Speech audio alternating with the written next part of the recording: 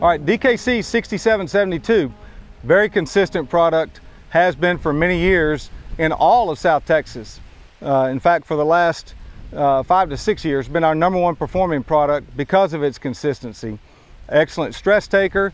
If you notice, it's not a very attractive plant, not very tall, um, but it's a, a, very consistent yielding product. Uh, one of the things we know about it, it's uh, it just doesn't have a lot of flex. It's a very fixed ear product, so we really need to maximize yield by pushing population with this product. Um, from a uh, disease standpoint, this product rates a three for northern leaf blight and a four for southern rust.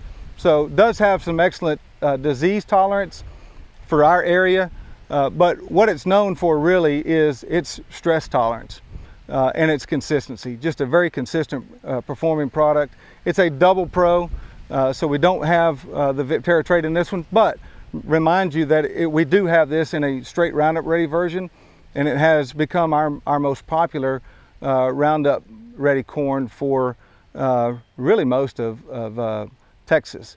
And so this is a very popular corn, um, very consistent performing product for our area, and that's what makes it one of our top sellers in the area.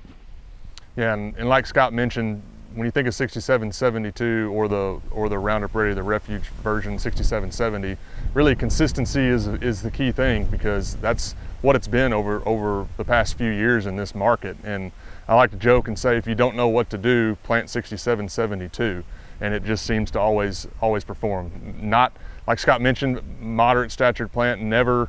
Uh, never really looks like it's it's going to be there, uh, but it usually is whenever we stick the combines in the field. Um, it'll kind of fool you because really this, this particular hybrid here has a very, very small cob.